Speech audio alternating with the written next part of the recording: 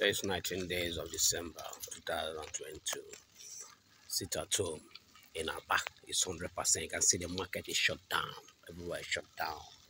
So the sit at home is tight. This global news will reporting. It is very certain that we kept sit at home. Thank you, Mochineke. But do not forget that Amufu is being here. We are in morning time. No less than 100 people 100 houses have been burned down by terrorists.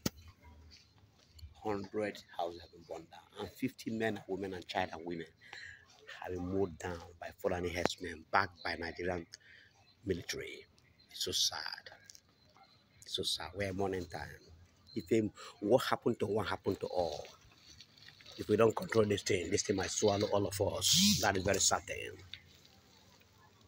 we're calling every, every Biafran to Agog to broadcast. And we're giving those that, that sold in Kano and those that don't want Simon to speak out, to come and speak before today noon. And after that, if they didn't speak, Simon Ekpa is coming Agog on radio and television. Yes, to hear the new dimension of what is going to happen because we can't take it. If you're quiet, that will all swallow us. Umuchi, this is Global News reporting from mid market, of the market, Aba, Abia State. Ndeo, Biafra, it's time to wake up. Ndeo Umuchineke.